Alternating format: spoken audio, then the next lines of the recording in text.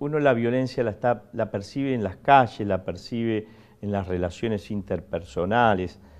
Em, la salida de la pandemia nos ha dejado este fenómeno que yo creo que no terminamos de, comprender y dimensionar, pero tal vez tenga que ver con, que nos dimos cuenta que, somos finitos, que, que, las cosas hay que hacerlas rápido porque nos podemos morir en cualquier momento.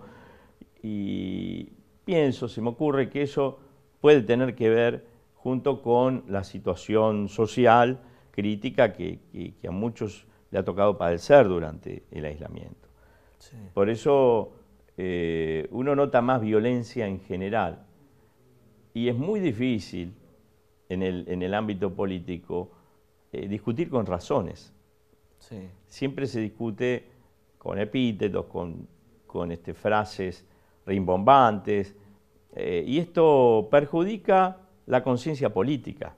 ¿no? Uno apunta a, generar conciencia política a través de la razón, a través de la comprensión, y, esto lo que hace, en definitiva, es favorecer a la derecha, que este, se niega a que se profundice las problemáticas, a que se comprendan, precisamente esto que, hablábamos de, generar un, conocimiento de lo político. ¿Por qué eh, justamente hablas de que esto, o bueno, o esto le sirve a la derecha, ¿por qué le sirve más a ellos que a otros?